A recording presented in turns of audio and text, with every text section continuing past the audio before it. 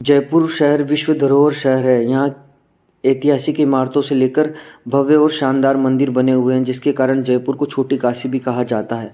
गुलाबी नगरी में हर ऐतिहासिक धरोहर और मंदिरों को शानदार तरीके से सहेज कर रखा गया है। ऐसा ही जयपुर के चौड़ा रास्ता बाज़ार में स्थित भगवान शिव को समर्पित तारकेश्वर महादेव मंदिर, जिसका इतिहास जयपुर की बसावट से भी पहले का है। यह मंदिर सोलहवीं शताब्दी में अस्तित्व में आया था। इस शिव मंदिर की स्थापत्य कला में राजस्थानी स्थापत्य और स्थानीय संस्कृति की झलक देखने को मिलती है। इस मंदिर के बारे में कहा जाता है कि जिस स्थान पर यह मंदिर बना हुआ है, उस स्थान पर किसी समय शमशान घाट और भारी संख्या में ताड़ के वृक्ष हुआ करते थे।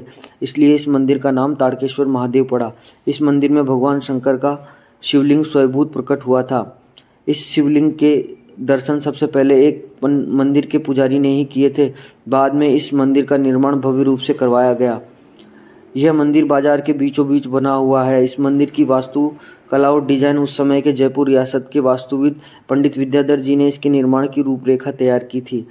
इस मंदिर को पहले ताड़कनाथ के नाम से भी जाना जाता था। इस शिव मंदिर के प्रति जयपुर वासियों की गहरी आस्था है और यहाँ पूरे साल भर भक्तों का तांता लगा रहता है। इस मंदिर की एक विशेष मान्यता है कि भगवान शंकर के शिवलिंग को इक्यावन किलो दूध और घी से अभिषेक करने से भगवान शंकर भक्तों की सभी मनोकामनाएँ पूर्ण करते हैं।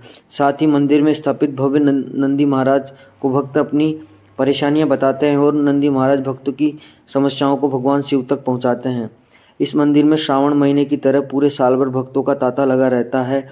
इस मंदिर के बारे में यहाँ के पुजारी बताते हैं कि यहाँ जब से इस मंदिर की स्थापना हुई है, तब से यहाँ भगवान शंकर की अखंड ज्योत जल रही है, जो आज भी बरकरार है। इस मंदिर में शिवरात्रि के पर्व पर देश भर से भगवान शंकर के दर्शन के लिए लाखों लोग आते हैं।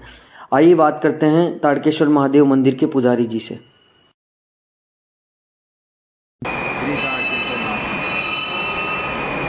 जो ताड़केश्वर महादेव का मंदिर है बहुत ही प्राचीन मंदिर है। हम्म।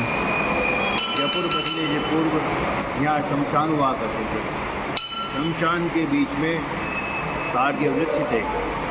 ताड़ के वृक्ष के पेड़ के बीच में से जो भोलेनाथ प्रकट हुए इसलिए इनका नाम तारकेश्वर महादेव रखा हुआ हमारे पूर्वज जो शिव उपासक थे सबसे पहले उनको दर्शन दिए वो यहाँ सेवा पूजा करने लग गए राजा को पता चला भाई ऐसा मंदिर है जब जयपुर का निर्माण हुआ तो विद्याधर दीवान की लड़की जो शिव उपासक थी उन्होंने इस मंदिर का जीर्णोद्धार कराया और हम लोगों को ये मंदिर राजा की तरफ़ से भेंट किया। जबकि हम निरंतर इनकी भोलेनाथ की सेवा पूजा कर हैं। जो भी व्यक्ति यहाँ सच्चे मन से श्री ताड़केश्वरनाथ भोलेनाथ की प्रार्थना करता है, उसकी सभी मनोकामनाएँ पूर्ण होती है। विशेषतः यहाँ भोलेनाथ के सौ उमर दूध, इक्यावन किलो दूध चढ़ाने का विशेष महत्व है।